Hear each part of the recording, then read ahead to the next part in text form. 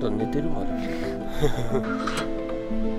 初めて見た。ねうわうわしみしみ派ですか？それともサクサク派寒い寒い寒いお起きた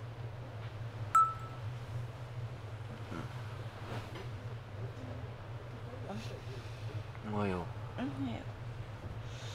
あったかかったあったかかった自分だけ電気毛布使って。多分雨降ってるよね、昨日も雨だし今日も雨か。ほんと最近雨だな。お腹すいた。めっちゃお腹すいた。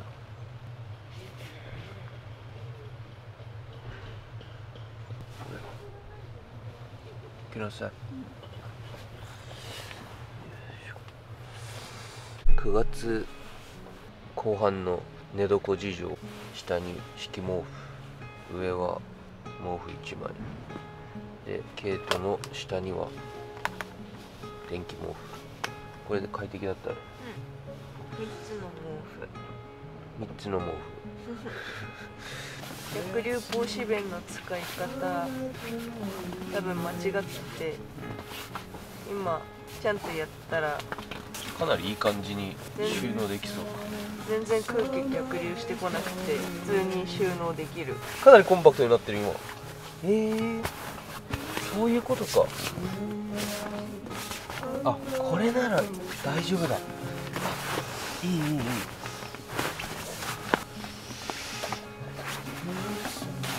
あすげえ。今回いけたよ。一発。一発。あやった。しまった嬉しい。はい。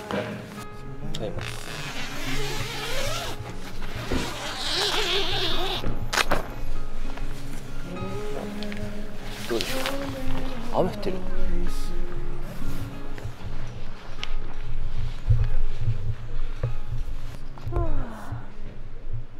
あすごいね人が。今8時？8時かな？うんどんどん朝から人が入ってきてる。ねえ。やっぱり土日はこうですよね。うん。空気がしっとりしてる。お肌にいい。お肌に良さそう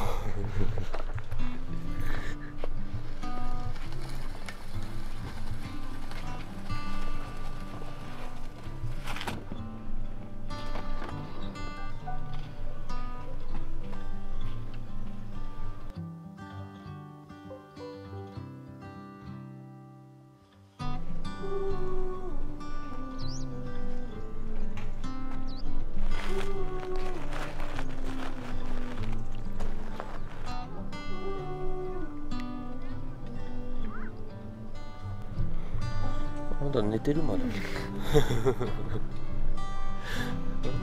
ああいい。いいわ。ずっとここに入れる。うんぬるぬる。ぬるぬる。この水面がたまらないね。ぬるぬるの。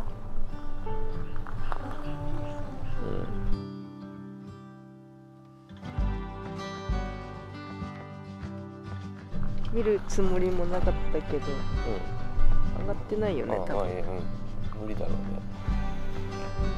あ。ちょっと雨強くなってきたね。うん。食べるかご飯。めっちゃお腹空いた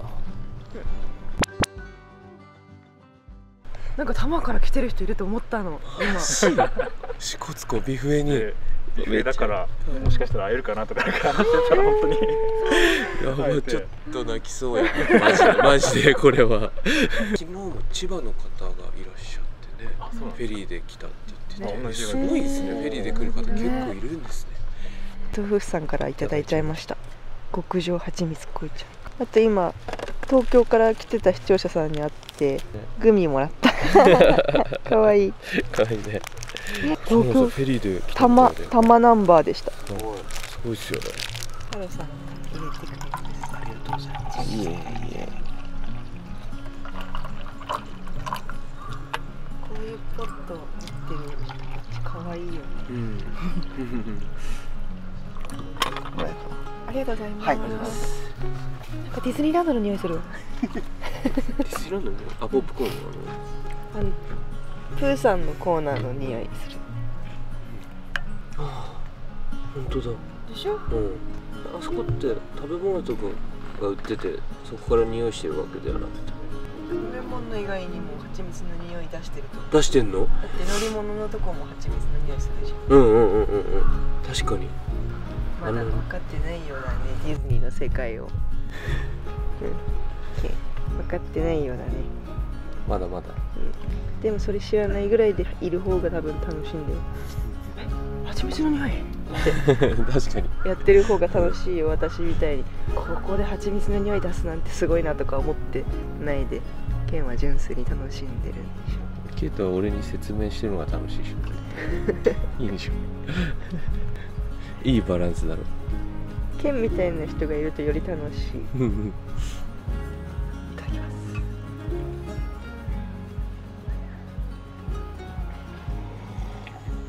あおおうん。ー美味しい。ああいい香り。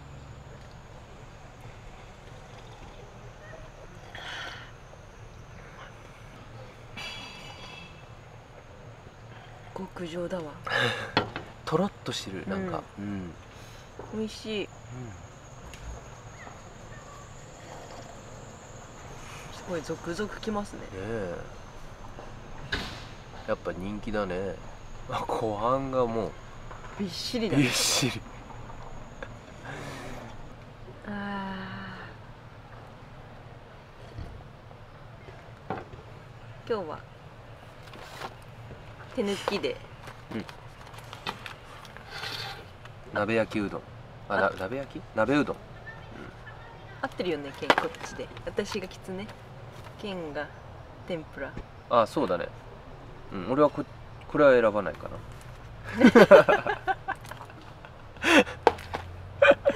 なんかややこしくない？こっちがきつねでたぬきたぬきこっちがきつねなのに緑で。あ確かにこっちがタヌキなのに赤っていうこの赤い赤いキツネと緑のタヌキと逆のカラーなんかあったかいうどんがしみる季節が来たね。いやそろそろなんかもつ鍋とかやりたい。やりたいね。そうそうそう。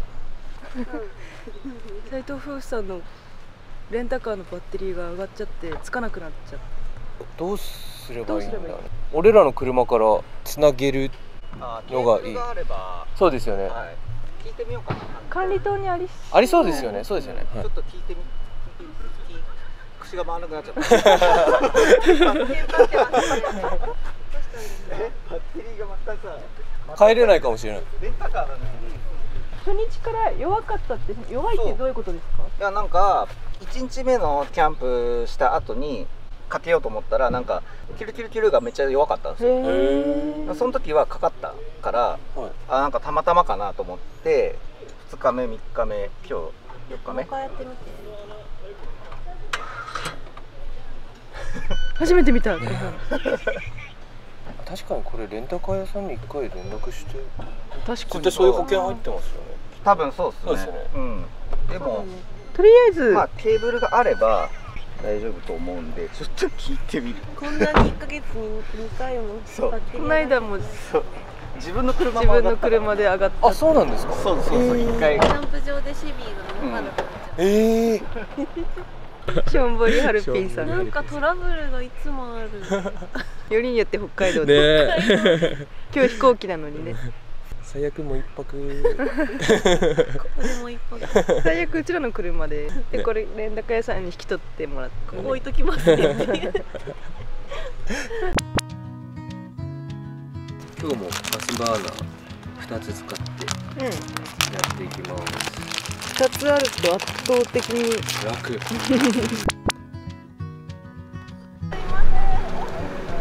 あよかったよかった。よかった。治った。治った治った。拍手よかったねうん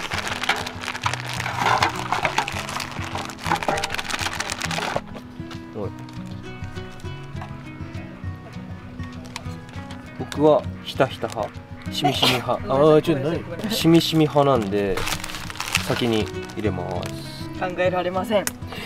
私はサクサク派です。ワンバウンド派です。ワンバウンド。えじゃあ半分取っとくか。うん。しょうがない。これはケイトのためにわーい。あー美味しそう。もうそろそろいいんじゃない、卵入れる、うわー美味しそう。ケイトの方も入れるよ、え卵どうする？割る？いや。割らない。割らない派えー、どうしよう。じゃあ俺ちょっと割ってみよう。割ります僕は。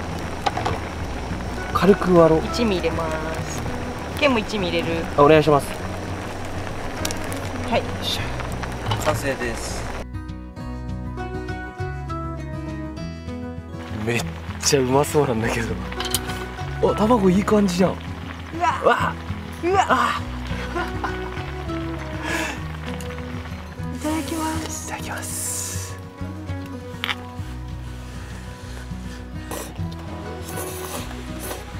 めっ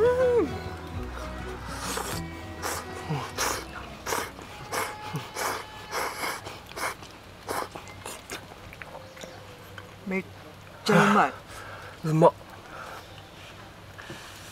うま。っこのしみしみの揚げ。うん。食べる？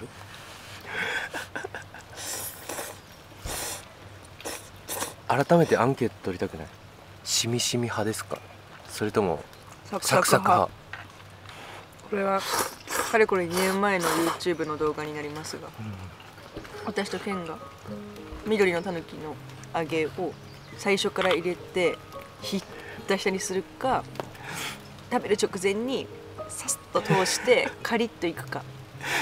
っていうので議論になった、うん議論になった。うん。でケンがひたひた派。そう。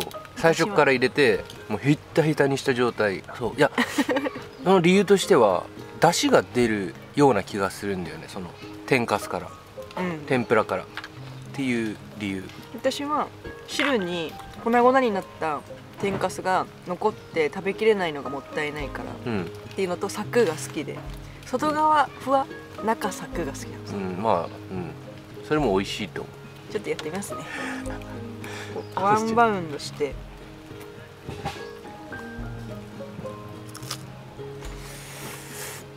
うまそう。めっちゃうまそう。皆さんどちら派か教えてください。結構分かれてたんだよね。でもうん。最終的にひたひた派が多かった。うん。そう。たちなみに赤いきつね派か緑のたぬき派も入れてくれるとうん。楽しいね、確かに。でも確かあの時はたぬきが多かった。うん。あのさあ。赤いきつねと緑のたぬきはたぬきはそばでしょ。うん。これどっちもうどんだけど。うどん派ってことね。そう。うんじゃあ赤いきつねで天ぷらが入ってたらよりいいってこと？揚げ揚げの方が好きなの？いやそれはねちょっと選べないんだけどでももし赤いきつねの天かす天ぷらバージョンがあったらうん、うん、交互とかに買っちゃうかもね。あー。あ今日は揚げにしよう。今日は天ぷらにしよ緑にはいかないと、ううん。で一時期うん。確かその本当に期間限定でうん、具がうん。ダブルで入ってるっていうキャンペーンの時がなんかあった気がするんだよね。揚げ2枚？いや揚げとうん。天ぷらが入ってあそれぞれ？なかったっけ？知らない。ケイト本当にうどん好きだもんな。キャンペーン。天ぷら。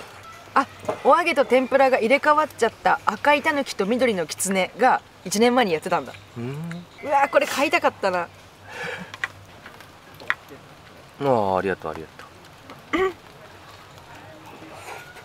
え俺もサクサク派楽しんでみたかったの。あ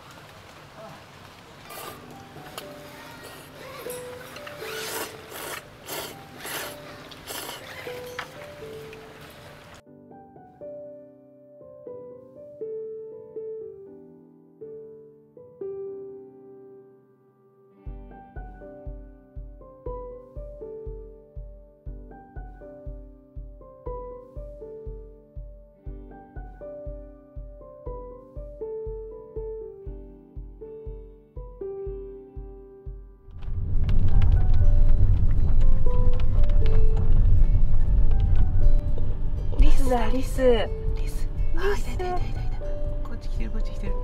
リス。リスや。あかわいいかわいい。見えるかな？あ入っちゃった。あいてててて。こっち来た。危ないからね。道路でんじゃないよ。引かれるぞ。気をつけろ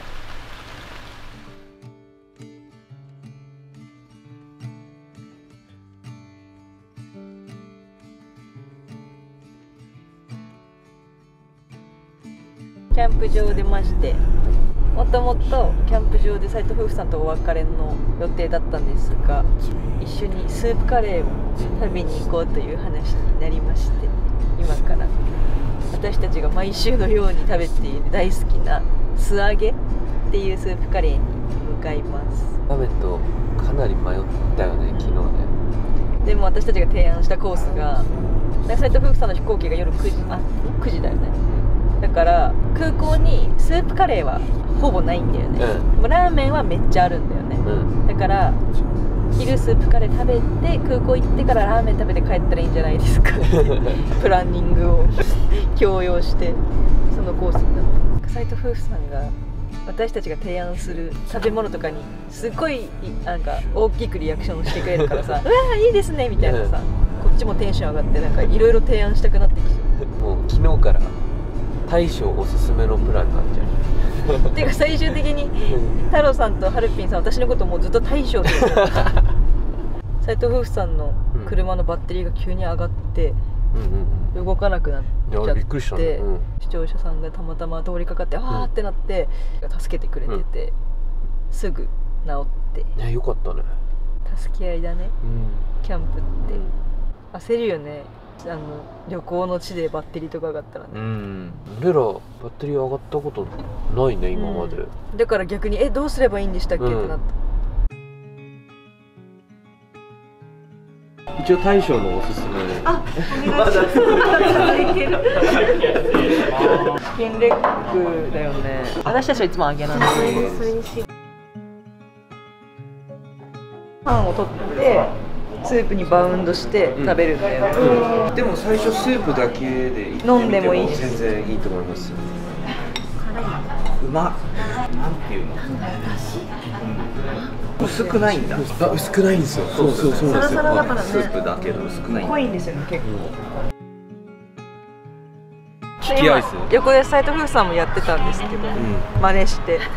これなんか今3種のアイス食べ比べたやつで、うん。全部牛乳ソフトなんだよね、うんアイスの家とチーズ工房とル・パティシエフルタっていうところのミルクソフト。アイスの家。大友チーズ工房ル・パティシエフルタ。はい。でもう散々こんなもうほぼないぐらい食べたからまあわかるで味覚えてるはずうん、きソフト。い。目つぶってください。ケンいつもあれだからねなんかソフトクリームの評論してるから。これでやってれなかったらハードル上げるな。なんかもうこれからソフトクリームのレビューみたいなのしないでもらうからね。はい。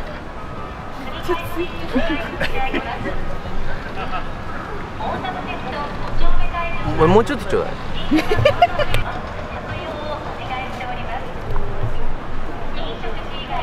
これは黄色ではないな。あどっちだろう？赤。ファイナルアンサー？はい。い正解。やー。よかった。当たった。すごい。危ねソフトクリームソムリエに認定。認定。ありがとうございます。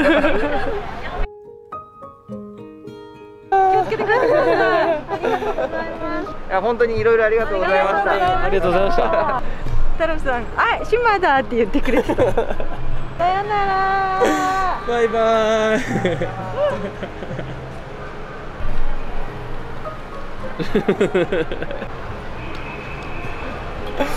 っちゃったね。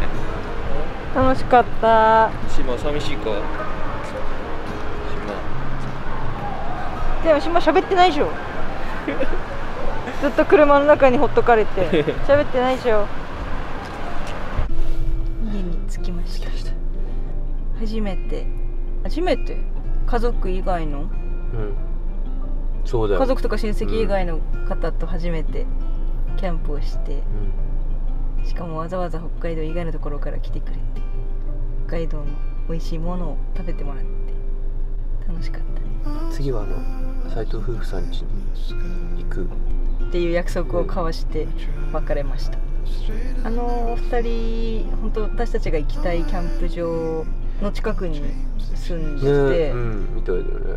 もうそもそもふもとっぱらとかそのほったらかしとか朝霧ジャンボリーとかを知ったきっかけが斉藤夫婦さんで、そうだ。うん。私たちが今行きたいと思ってるところは全部あのお二人から来てる影響なので、うん。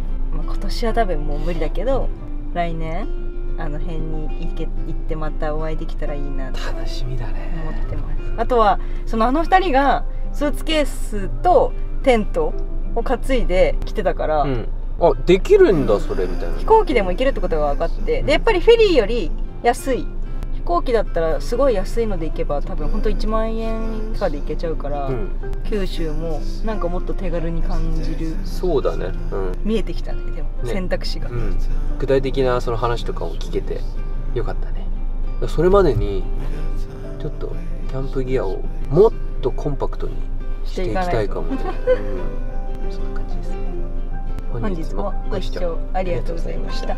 それではまた。虫歯治ったの？親知らず抜いたやつ。あ。ちょっとまだ腫れてるわ